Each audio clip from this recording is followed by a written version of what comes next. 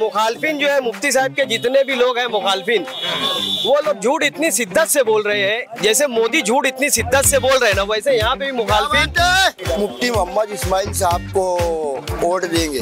मुफ्ती इस्माइल कासमी साहब। क्यों? क्या क्यों क्यों? हमारे रहबर वही है भैया। आमदार को तो हम मुफ्ती इस्माइल काजमी को ही देखना चाहते हैं। इंशाल्लाह मुफ्ती साहब चुन कर आएँगे अच्छी अक्सरियत से चुन के आएँगे और अच्छाई की जीत होंगी और बुराई की हार होंगी। पाँच साल में जितना काम हुआ है पैंतीस साल में उतना नहीं हुआ है। हाँ। अब एक मरतबा फिर मुफ्ती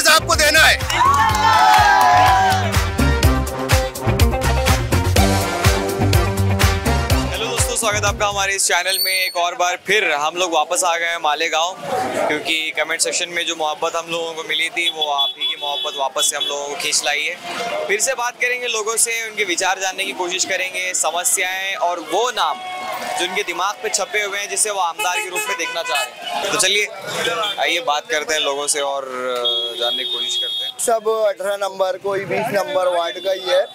और हम लोग माजी हाजी साहब ने जो ये यहाँ पर काम किया है बहुत अच्छा काम किया है। उसकी वजह से हम लोग तो देख लो आप ये काम देख लो पूरे शहर में ऐसा काम कहीं नहीं मिलेगा जैसा काम माजी हाजी साहब ने किया है। और उसी की उन्हीं की मोहब्बत में हम लोग मौलाना मुफ्ती मोहम्मद इस्माइल साहब को वोट देंगे। और आप आप बाकी लोग क्यों क्यों क्यों सपोर्ट कर रहे हैं मुफ्ती इस्माइल? सिम्बोल लगे लेना भाई। मतलब क्यों सपोर्ट कर रहे हैं? कारण क्या है? हम इसलिए सपोर्ट कर रहे हैं कि इस शहर से आने वाले मुस्तकबिल को बचाना है। आज जो मुफ्ती साहब अच्छाई और बुराई का जो नारा लेकर चल रहे हैं आने वाली नस्लों को भी हमको बचाना है और इस शहर की तामीर और तरक्की के लिए आगे बढ़ना है। और वो लोग जो सामने कैसे बोल रहे हैं कि सामने वाले यहाँ के थोड़ी है। अच्छा वो भी यहाँ के रहने वाले हम यहाँ वो दो पाँच सौ रुपए लेके कोई भी किसको भी कुछ भी बोल देगा। अच्छाई और बुराई का इलेक्शन है ये। और अस्सी परसेंट लोग अच्छाई के साथ है मालेगांव में आज भी। अच्छा।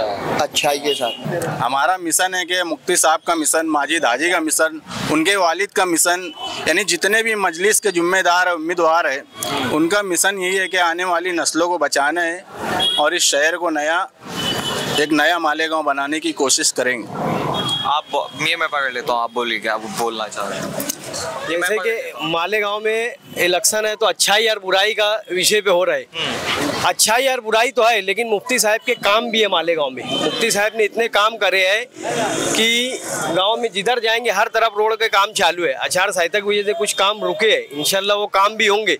जिस वार्ड में खड़े हैं ये वार्ड नंबर अठारह है यहाँ के नगर सेवक माजिद हाजी है एम आई एम के और मुखालफिन जो है, मुफ्ती साहब के जितने भी लोग हैं मुखालफिन, वो लोग झूठ इतनी शिद्दत से बोल रहे हैं, जैसे मोदी झूठ इतनी शिद्दत से बोल रहे हैं ना, वैसे यहाँ पे भी मुखालफिन कि लोगों को सच लग रहा है। लेकिन सच्चाई यही है कि मुफ्ती साहब जो हमारे आलिम दीन है और एक अच्छे इंसान है, एक अच्छी शख्सियत है। हम उनको ही नेक्स्ट टाइम आमदार चुनकर लाना चाहते हैं और इंशाल्लाह मुफ्ती साहब चुन कर आएँगे अच्छी अक्सरियत से चुन के आएँगे और अच्छाई की जीत होंगी और बुराई की हार होंगी। क्या बात है। क्या बात है। तो ए- वो वो जो ग्रो है ना वो लोग बोल रहे हैं कि वो वो मान रहे हैं कि मुफ्ती साहब बड़े भले आदमी अच्छे आदमी है बोल रहे हैं तबीयत खराब हो गई आप लोग ज़बरदस्ती खींच के ला रहे हैं उनको आराम की ज़रूरत है। अरे यार बीमारी आरामी जो है हर किसी के साथ लगी हुई है। अब बीमारी है तो अल्लाह ने दी अल्लाह सेफा भी देंगे। है ना? अब अपन है तो उनको बोलेंगे कि बीमार है वो बेड पे पड़े रहेंगे। ऐसा तो नहीं है ना? अल्लाह उनको जल्द से जल्द सेहत याब करेंगे वापस फील्डों पर आएँगे वो और उनका काम अंजाम देंगे। और प्लस मुफ्ती साहब के पास जो लोग हैं वो सब मुखलिसी में लोग हैं। कोई बिकाऊ लोग नहीं है और कोई पैसा वैसा लेकर मुफ्ती साहब के पास नहीं आते हैं। है ना? मुफ्ती साहब की सच्ची मोहब्बत और हमदर्दी में लोग आते हैं। है ना? ऐसा नहीं कि यार हम पैसा लेकर जाएँगे। ये चीज़ है ये फ़र्क है। अच्छा आप लोग अ, नहीं नहीं सुनिए तो मैं पूछ रहा हूँ मैं। जैसे अभी न, नशा मुक्त मालेगांव का एजेंडा लेकर के मुफ्ती साहब सामने आए थे? कई स्टेट से उन्होंने ये बात की कि नशे से नौजवानों को मुक्त कराना है जो भी मालेगांव में भी स्थिति है नौजवान बर्बादी की तरफ़ जा रहे हैं। सही बात है नशा मुक्त करना चाहिए क्योंकि नशे का जो मामला है जैसे अभी मुमरा में मुंबई में जहाँ पर भी नशा एमडी पाउडर का ये सब कारोबार होता था वहाँ पर मुंबई में बड़ी बड़ी एनजीओ थी। जैसे हम बिग वुमन ये, वो जो भी तंजीमें जो एनजीओ लोग थे, वो वहाँ पर है तो पचासों एनजीओ ने मिलकर मेहनत करा था। जब कहीं जाकर आज मुमरा उस चीज़ से निकले, नशे के उसमें थे यहाँ पर तो वैसा है नहीं। तो हर किसी को मतलब है तो अपनी ज़िम्मेदारी समझकर नशा मुक्तों के खिलाफ आवाज़ उड़ाना चाहिए और अपने घर और अपने बच्चों को देखना चाहिए कोई नशे में मुब्तला तो नहीं है उनकी इसलाह करनी चाहिए। और हमारे साथ तो मुफ्ती साहब अब्दुल मालिक भाई डॉक्टर खालिद परवेज साहब माजिद हाजी साहब यूसुफ इलियास साहब ये सब लोग भी लगे हुए हैं। इसके खिलाफ तहरीक चला रहे हैं। इंशाल्लाह आगे इलेक्शन के बाद और इसका जो भी रहेगा ये तहरीक चला के इसको अंजाम तक पहुंचाएँगे। इंसान को इंसानियत के तरीके से अच्छे ढंग से अच्छा माहौल बने हम लोग ये चाहते हैं। और हमारे जो अभी पतंग के जो मेंबर हैं, उनके भी यही नज़रिया है कि इंसान अच्छे ढंग से, अच्छे माहौल से, अच्छे तरीके से ज़िंदगी का गुजर बसर करे। कुछ लोग शराब, जुआ, सट्टा, ये लोगों के बड़े ना मुखबर बन के लोगों को बेवकूफ़ बना रहे हैं। तो हम लोग यही चाहते हैं कि दुनिया के अंदर अच्छे ढंग से, अच्छे तरीके से लोगों की ज़िंदगी का गुजर बसर हो। और हम असम्बली और पार्लियामेंट से यही चाहते हैं कि हमारे लिए वो तमाम सहूलियत करे कि हम लोगों के बच्चे नशे वर से बचे। इतना ही कह के मैं अपनी तरफ़ आने कौन होना बाबा? ये तो बोल दो। जीत के कौन आने होना साहब आने वाला जीत कर तो हमारे मुफ्ती साहब को आना चाहिए क्योंकि हम लोगों के रहबर वही है। मुफ्ती इसमाइल काश्मीर साहब क्यों? क्या आना चाहिए। क्यों क्यों? हमारे रहबर वही है भैया। मेरा बोलना ये है कि यार आने वो बंदा होना जो हमारे साथ खड़े रहे। हमारे टाइम पे हमारे अच्छे बुरे वक्त में खड़े रहे। हम उनके पाँच साल के लिए उनके लिए बहुत कुछ करते। हैं। तो उन्होंने ये दावा करने होना कि वो हमारे वास्ते पाँच साल में क्या करेंगे? तो ऐसा कौन है जो आपके साथ खड़ा रहता है? देखो मेरा बोलना तो यही है कि यार जैसे अभी मुफ्ती इस्माइल साहब जिनकी तबीयत खराब है अब वो क्या वजह से तो मेरे को नहीं पता। और आसिफ साहब तो ये तो लगे हुए जैसे मतलब कि मुझे वोट चाहिए उनको जीतना ये तो लगे हुए। तो मेरा बोलना ये है कि यार दोनों में से कोई भी पार्टी आए जनता को ये समझना चाहिए कि यार वो पार्टी हमारे लिए करेंगी क्या? जैसे हम पाँच साल के लिए उन्हें जिता तो रहे तो वो पाँच सालों में करेंगी क्या? मेरा बोलना ये है जनता से कि यार उनसे सवाल करो अगले पाँच सालों में हमारे लिए क्या करेंगे? तो ये आप मजलिस का आपने बैच लगा हुआ है यहाँ पे ये बोल रहे हैं पाँच साल में मुफ्ती साहब ने कुछ नहीं किया है इन लोगों ने हमारे जो ये जो काम है गडर का रोड का तो ये काम किसका है? मतलब जैसे ये इतना फंड आता है कि यार ये सड़क के लिए फंड आता है गटर के लिए आता है रोड के लिए आता है तो फंड जाता कहाँ है? कर रहे हैं, बात है। तू बता तो सही। पैंतीस साल में जितना काम शेख आसिफ फैमिली की जो खानदान है शेख रशीद खानदान ने जितना काम की उससे ज़्यादा काम पाँच साल में मुफ्ती इस्माइल का है। नहीं तो उठा के देखो थोड़ा गाँव का दौरा करके देख लो। नहीं नहीं भाई ये कोई बात गलत ये कोई बात मैं ऐसा नहीं बोल रहा। पूरा गाँव का दौरा करो आप भी मीडिया के नहीं, नहीं, आप भी मीडिया के हो नहीं, नहीं, आप दौरा करो। सही पाँच साल में जितना काम हुआ है पैंतीस साल में उतना नहीं हुआ है। हाँ। अब एक मरतबा फिर मुफ्ती साहब को देना है। नहीं नहीं। दे देख ले नहीं, संविधान है सबको अपना अपना व्यक्तिगत विचार रखने का हाँ बिल्कुल। भाई के वो गलत नहीं है बिल्कुल बिल्कुल इनका इनका एक अलग विचार है इनका एक अलग विचार है। बिल्कुल।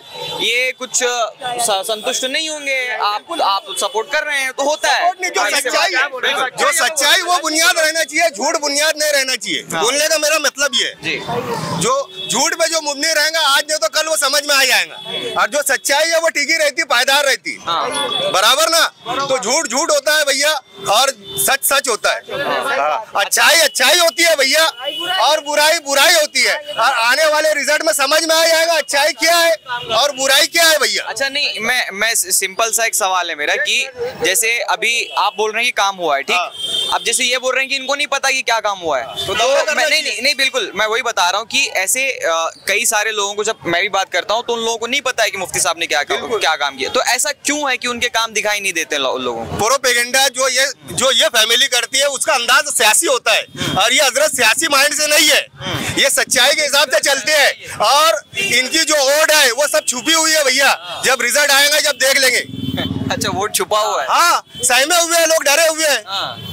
तुम दौरा करो डरे हुए हैं मतलब। फिर इससे पहले जो हुआ था वो क्या है? आपको तो खबर होगी ना क्या हुआ? किस फैमिली के लोग अंदर गए थे?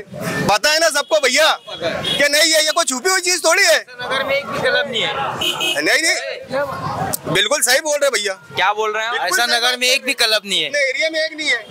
आप दौरा करो। उतने एरिया में एक भी क्लब नहीं है। क्यों ऐसा हो रहा भैया? क्लब मैं ज़्यादा जानता नहीं हूँ यहाँ के बारे क्लब का में मतलब जैसे आज यहाँ का जो तरीका है ना वर्कर से के जो एक मतलब एक जगह रहती है हाँ। वो उस जगह से काम करते हैं अच्छा। पार्टी का। हाँ। उसको क्लब बोलते हैं। तो एक भी कोई मतलब वहाँ सामने आने तैयार नहीं इसकी वजह क्या है? आप पेटी देखेंगे तो उस पर रिज़ल्ट मिल जाएगा आपको। कि हमारे मुफ्ती साहब के चाहने वाले कितने हैं? मगर डरे हुए हैं भैया सहमे हुए हैं। वो लोग तो ये सियासत इनका तरीका कार यही रहा है। धमकी इनका तरीका कार यही है कि पैसे से मानते हैं तो ठीक है नहीं तो डरा के मनवाओ। इनका तरीका कार यही है। आप पूरा देख लो हिस्ट्री देख लो। कोई छुपी हुई चीज़ नहीं है। वोट नहीं मिली थी क्या उधर? वही चीज़ बोल रहा ना मैं। वोट मिली थी ना। अभी भी मिलेंगी क्या बोल रहे हैं? ऐसा नगर में क्लब नहीं है तो वोट नहीं मिलेंगी क्या? वोट तो पिछले टाइम भी पाँच हज़ार मिली थी। अभी भी पाँच हज़ार सात हज़ार मिलेंगी इंशाल्लाह। ज़्यादा मिलेंगी अब तो ज़्यादा मिलेंगी इंशाल्लाह और। आमदार के रूप में किसे देखना चाह रहे हैं और क्यों? आमदार को तो हम मुफ्ती इस्माइल कासमी को ही देखना चाहते हैं। इसलिए कि आज शहर में विकास का काम उन्होंने ही किया है। अगर आपको देखना है, आप मीडिया वाले हैं, मुखालफिन को जाने दो तो कुछ भी बोलेंगे। लेकिन अगर आप मीडिया वाले हैं तो आप मेरे साथ चलिए। मैं आज आपको पूरा काम बताता हूँ। आप देखेंगे, आपके कैमरे से शूट करेंगे तो मुखालफिन को आप बता पाएँगे। आज वो लोग वो लोग जो बोल रहे हैं, वो तुम सुन ले रहे लेकिन आपकी आँखों से जो देखा हुआ रहेगा तो वो तो झुटला नहीं सकते। आप चल के देख लो, अब्दुल्ला नगर हमारे एरिए में, अब्दुल्ला नगर है, उसके अंदर पूरी रोड गटर का काम इन्होंने करके दिया। उसके आगे तो थोड़ा सी जाएँगे, हसनपुर है। हसनपुरे का पूरा काम इन्होंने करके दिया। उसके आगे तुम चले जाओ पौरवाड़ी, जो कि मुखालफिन के कारपोरेटर थे वहाँ पर। वहाँ पर मौलाना को, मौलाना की एक भी सीट नहीं थी, मुफ्ती साहब की एक भी सीट नहीं थी। उस एरिया में वहाँ के लोग हर मेंबर के पास गए, हर मेयर के पास गए, हर एक के पास गए, किसी ने काम नहीं किया। मुफ्ती साहब वहाँ पर गए, कमिश्नर को लेकर वहाँ दौरा करे। लोग का कहना ऐसा था कि यहाँ पर रोड गटर नहीं बन सकती। उसकी वजह ये अच्छाई और बुराई का मुकाबला है। उसकी वजह ये बताया वो लोगों ने कि यहाँ पर पानी की निकासी नहीं है लेकिन काम करने वाला अगर जो होता है तो उसको ऊपर से गैप से मदद होती है। मुफ्ती साहब वहाँ पर गए उनको पानी की निकासी भी करके दिए। आठ नौ गली जो कि 25 साल से लोग खस्ता हाली में थे वहाँ पर उन्होंने रोड गटर पानी की सुविधा करके दिए। तो ये सब मुफ्ती साहब का काम नहीं है तो क्या है? अभी जैसे आपने बताया ना कि ये ये ये ये काम हुए हैं ऐसे मैं बोल रहा हूँ कि जैसे अभी ये भाई थे इनका इनका भी एक अपना ख्याल है। इनको ये ये जैसे बोल रहे हैं कि हम काम नहीं हुआ है तो ऐसे कई सारे लोगों को नहीं पता है। एडवर्टाइज नहीं कर पाते वो हाँ। एडवर्टाइज नहीं कर पाते वो और ये लोग बगैर काम की एडवर्टाइज करते हैं ये लोग? जो काम नहीं हुआ है अभी पंद्रह साल पहले रेलवे आ गई थी मालेगांव में। रेलवे पंद्रह साल पहले आ गई थी मालेगांव में। रेलवे के कम से कम तीन सौ होर्डिंग लगी हुई थी कि हमने रेलवे लेकर आ गए। तो एडवर्टाइज नहीं कर पाते मुफ्ती साहब। एडवर्टाइज अगर करेंगे तो काम पहुँच पाएगा और इसमें उनको चेंजिंग लाना चाहिए। यार एडवर्टाइज करें, हमने ये काम किया, हमने वो काम किया। और ये लोग जो काम नहीं करते, उसका भी एडवर्टाइज करते। तो ये फ़र्क रहता है, ये भाई को जो नहीं मालूम है ना, इसकी गलती नहीं है। पेपरों में या जलसे के माध्यम से या किसी और माध्यम से ये बता नहीं पाते। इनको बताना चाहिए। तो उसमें लोगों को इनके ऐसे लोगों को मालूम पड़ेगा कि असल काम हुआ है कि नहीं हुआ और कितना हुआ है और कितना करना बाकी है। तो आपको लगता है ना कि एडवर्टाइज करना चाहिए? एडवर्टाइज करना चाहिए और ज़्यादा करना चाहिए। रेलवे पंद्रह साल पहले आ गई थी। कहाँ पे रेलवे है? तीन सौ होर्डिंग लगी हुई थी कि हमने रेलवे लेकर आ गए। रेलवे है कहाँ? मैं ये पूछना चाहता। मैं खुद भी जब यहाँ पहुँचता हूँ तो मुझे औरंगाबाद से मनमाड़ मनमाड़ से भी ट्रेन वैन वगैरह पकड़ दे रहा पहले रेलवे आ गई थी होर्डिंग लग चुकी थी सबके ऊपर फ़ोटो लग चुका था कि हमने रेलवे लेकर आ गए। आज तक रेलवे की बुनियाद भी नहीं है। तो ये एडवर्टाइज जो है ना जो नहीं की उसकी भी होती है। और यहाँ पे करने के बाद भी एडवर्टाइज नहीं होती है। नौ, नौजवान लोग क्या सोचते हैं? इनशाला मुफ्ती साहब आएँगे तो काम होगा। ये- भारी अक्सरियत से आएँगे डेढ़ लाख के बाद। नशा नहीं उनके साथ रहने वाले नशा नहीं करते और मुखालिफ जो है नशे को बढ़ावा देते नशे को नशे के खिलाफ ये आवाज़ उठाते और जो सामने रहते हैं शेख आसिफ भाई वो नशे के सरपरस्ती करते। हैं तो आपके कोई दोस्त वगैरह ऐसे हैं जो नशे की वजह से बर्बाद हुए हैं? नहीं हम लोग असल में जितने मुफ्ती साहब को मानने वाले हैं वो नशा नहीं करते। नहीं करते। नहीं हाँ। क्राइम की या नशे की वस्तु बनाई करना, ये नस्लों को बर्बाद करता है और हम लोग उसके खिलाफ है। वो नहीं होना चाहिए शहर के अंदर। वो सियासत शहर में नहीं होना चाहिए।